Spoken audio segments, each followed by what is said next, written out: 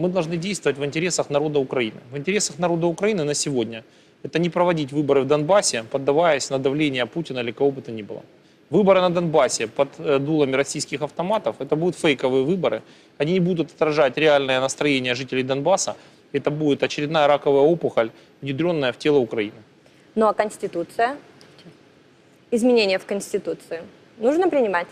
На сегодняшний момент я не вижу в зале Верховной Рады 300 голосов, необходимых для утверждения Конституции фразы про особый статус Донбасса. Хотя могу вам также сказать, что лица, которые юродствуют и говорят неправду людям, говорят, что такой статус недопустим, они говорят неправду, потому что в нашей Конституции уже указан особый статус города Киева и города Севастополя.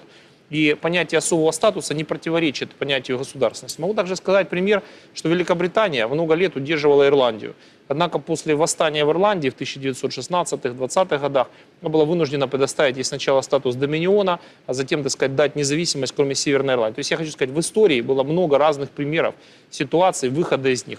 Но каждый случай уникален. Например, у Великобритании там было реальное освободительное движение ирландцев, которые воевали с оружием в руках против британского господства. У нас же не было реальных оснований для того, чтобы было вооруженное восстание на Донбассе. Оно было полностью организовано, инспирированное российскими спецслужбами и Путиным.